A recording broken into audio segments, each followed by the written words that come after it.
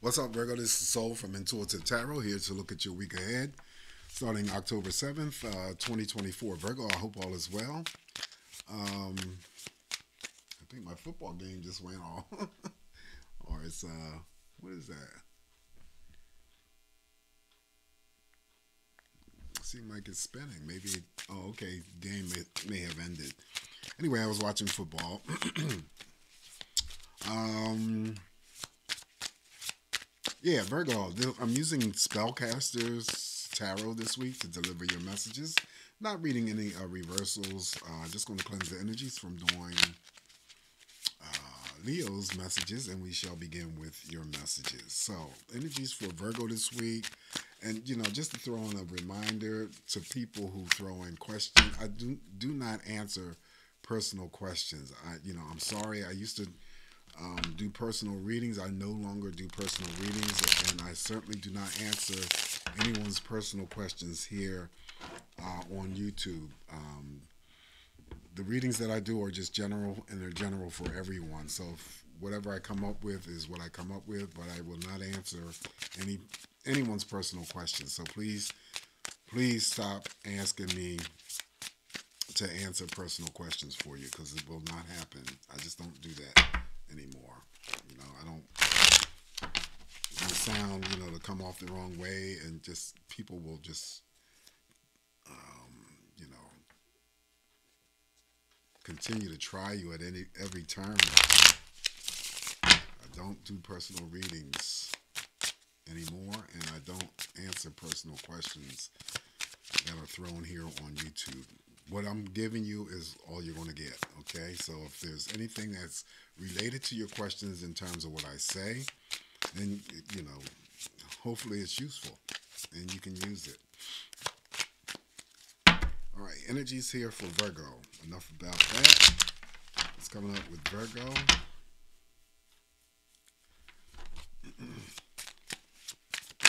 oh.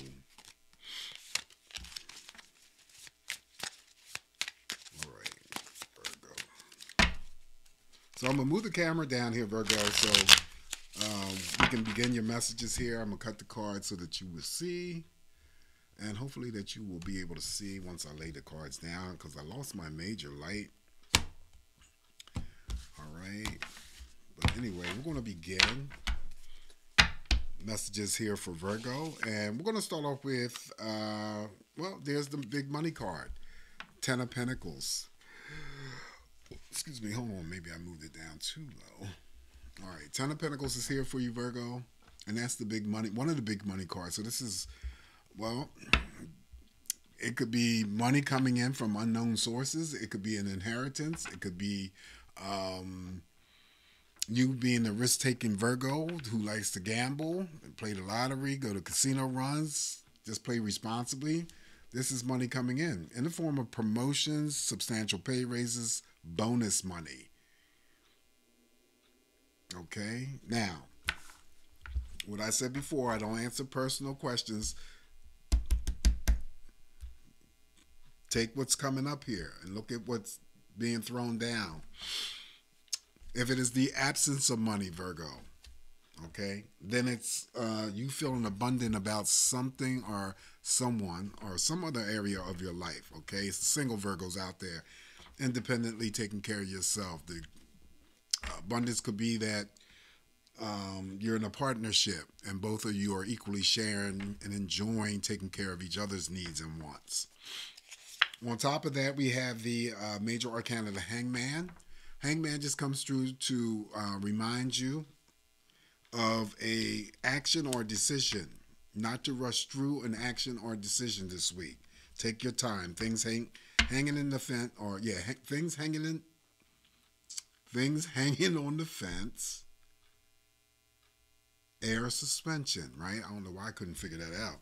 Anyway, so that's the hangman. Neutral, really, energy. Now we have the uh, page of pentacles. Okay, so money is coming in here very strong here for you, Virgo. So the page is uh, usually an offering. So that could be a, a you know a job offer, contract offer, could be a birth of a business idea. You could also regard the Page of Pentacles showing up here in your spread as the beginning stages of your financial situation turning around for the better. And maybe um, for some of you, it could be for the first time because the pages and the aces always start things off for the first time. Up next now, look, this is the, and you know, this is so funny too because this is the card when I was shuffling and you didn't see it, but it fell out. You have to go back to the video when I was shuffling and I said, oh shoot, this was the card that popped out, Virgo. The Four Wands, the happiness card. This is the card that represents homes, houses, apartments, shared energy um, with other people. This could be engagements, uh, proposals, weddings, celebrations of birthdays, anniversaries, relocating to a different area, purchasing property. Okay, couples moving in with one another, family members, friends, romantic partners. Always the shared energy with others inside of structure of a building. Okay, interesting that that card shows up here, and that was the card that flipped over. And I was going to use it, but you didn't see it, so I said, well. Funny how things uh, turn out, right? Up next is the uh, death. Oh, I'm sorry. I was about to call this the death card. No, this is the major arcana, the hermit. I'm sorry. Neutral, just like the uh, hangman. Um, so yeah, detaching your energies, you know, taking yourself away from, you know, things. It could be just wanting to be by yourself, trying to figure something out. The light that or the lantern that he holds is always referred to me as the light at the end of the tunnel. Uh, you're not going to stay in this energy too long. It could be just in the form of meditation, just taking up, you know, time out for yourself, catching up, reading a book, whatever it is that's going to help you. And if you have to do some soul searching, whether or not it's deep or it doesn't entail or involve any deep thoughts or, you know, processing, you're going to arrive at any answer that you sought from within, okay? Clearer perspective. That's going to sit on top of the Four of Wands. Up next here for you, Virgo, is, see, the money. Three of Pentacles. There's money. This is a card that always represents um, being rewarded, collaborating with others. Uh, it could be recognition coming through from your employer, giving you a small pay raise. Uh, anything related to uh, completions of any projects, whether you're working with others or not the energies are going up for you tomorrow, October 7th, by Wednesday, the 9th. And there could be a form of thank you, congratulations, a job well done, pat on the back. Also, with the Three of Pentacles, there could be um, an introduction to someone new, and always get there could be also um, workplace attraction or love affairs going on. So, money is looking good for you, uh, Virgo, this week. Now we look at this. Okay. The King of Pentacles. Boy, if you guys were worried about your money this week, you shouldn't be because again, this is your boss in the workplace environment. This is the creditors. This is, you know, um, your Virgo. So this could just represent the attributes of you. Uh, could be that you're a good money handler. You're feeling stable. Uh, you're dependable, reliable, and this is how other people see you, view you encouraging, nurturing, like the finer things in life, never come across as uh, being stingy or selfish, always willing to share. This could be, uh, you know, with the Page of Pentacles here in this spread, could be, again, business partnerships that are formed. When it comes to romantic partnerships, well, this person has already uh, accumulated some wealth along the way. They could be running their own business, all right? But they're not stingy, they're willing to share.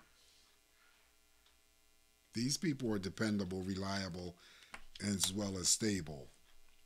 So money is looking grand for you, Virgo, this week. Now, we don't want to get into any um, bouts of uh, disagreements or fights, petty arguments with anyone. Usually I say it's the projection of energy that may come onto you by others.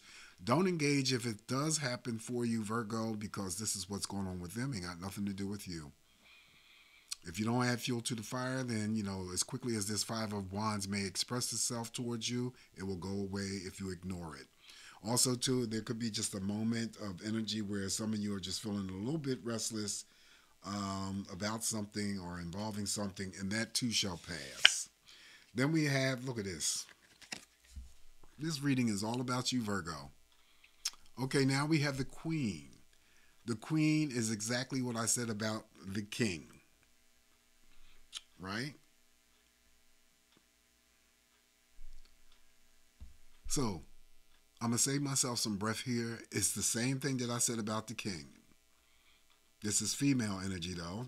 Now you have male energy. So you got both the king and the queen here representing an element of, um, for some of you, this week, a strong potential of um, the focus may be on work and finances, but I think it's more money, which is pretty good, you know, and that money could be coming through.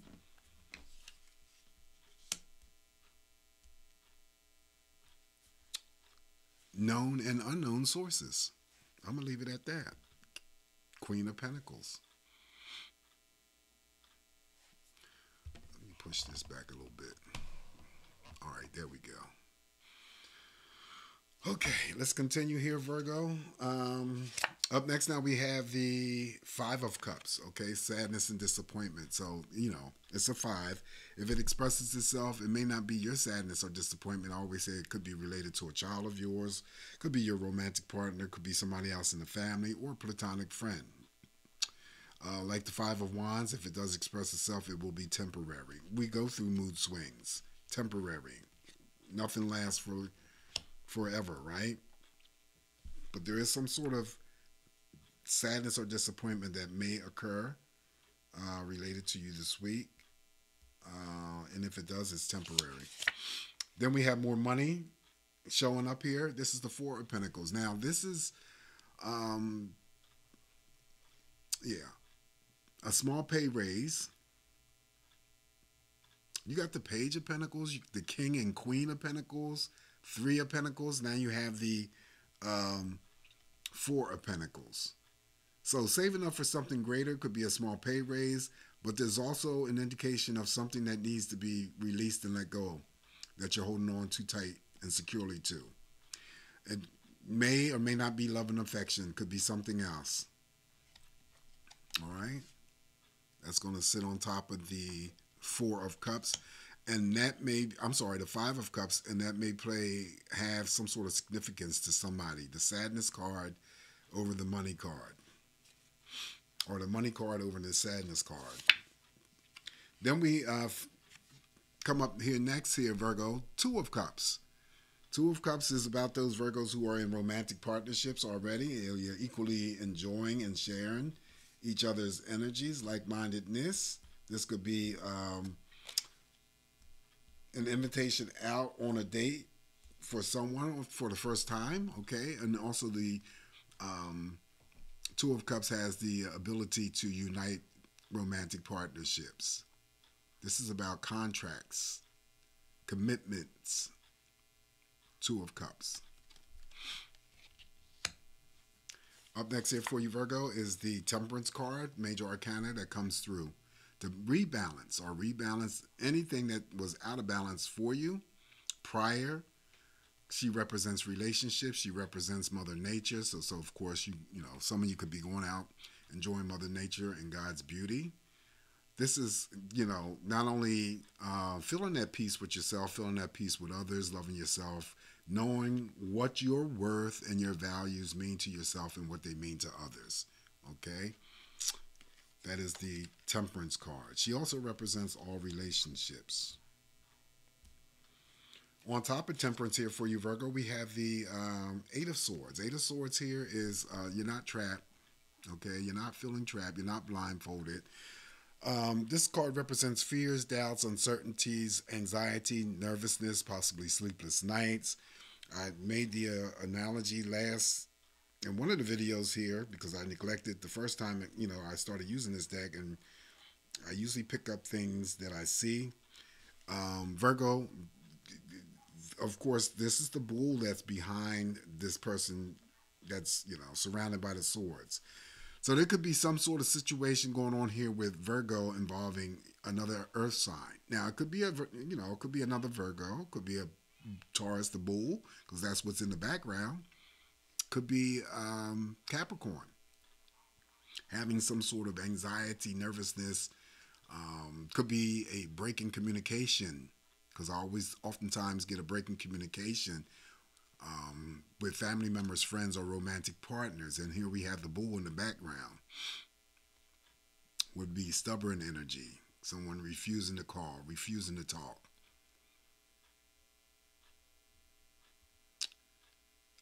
I also um, advise you guys to be careful here, though. However, with the Eight of Swords can be tricky, like the moon, and not to infiltrate your mind with unnecessary, um, you know, mental stuff um, that may be, you know, be uh, pertaining to a person, situation, or event that has yet to occur or will ever occur. So be careful here. If you're dealing with the Eight of Swords, of course, deal with it to reduce the energy of stress that you may be experiencing because you don't want this to be uh, left unchecked because it will lead to the Nine of Swords energies if you don't do anything at all. That's going to sit on top of the uh, Temperance card. And I think that because it sits on top of the Temperance card, you guys will have some uh, help in trying to um, deal with any conflicting energies because the major arcana is beneath it. The last card I have for you, uh, Virgo, uh, in this spread, uh, we're going to finish off with what? We're going to finish off with the Three of Cups. Um, yeah, so there's something to be happy and joyous about this week, Virgo. Celebrations, of course. It could be uh, someone's birthday, anniversary. Maybe I'll need to hold it up here in the light. Um, yeah, any types of celebrations, celebrating with family members, friends, romantic partners, could be just hanging out, enjoying uh, energies with co-workers after work. There is something to be happy and joyous about this week, Virgo. All right. This is the card that finishes off the entire spread. And remember, this is just me interpreting these messages here for you, Virgo. Only take what's going to work for you. Uh, leave the rest alone. However, if you would um, be so kind to like the video, comment on the video, share the video if you uh, care to, subscribe to my channel if you haven't already. Come back and get more of these messages from me, Virgo, and I will talk to you soon. Ciao.